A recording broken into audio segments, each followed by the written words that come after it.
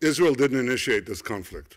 We were attacked in an unprovoked manner by the Hamas terrorist organization that fired 4,000 rockets into our capital and into our cities.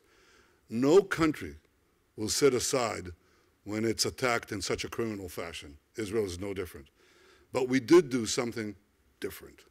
We were fighting terrorists who are hiding among civilians in one of the most densely populated places on earth.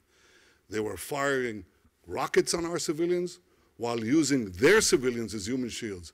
We did everything in our power to prevent civilian casualties, unnecessary casualties of non-combatants, while trying to attack the combatants who are trying to murder our citizens.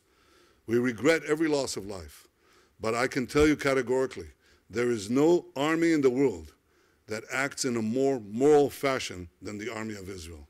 I want to thank President Joe Biden, a friend of many years, who stood by Israel throughout this conflict. He expressed clearly, unreservedly, America's support for Israel's right of self-defense.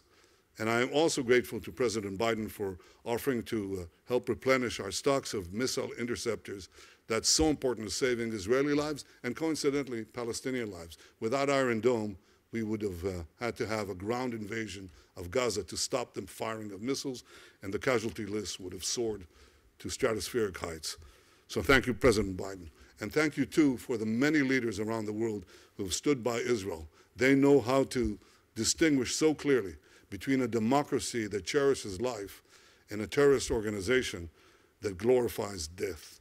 I think that distinction and that support is crucial for our common future. Thank you.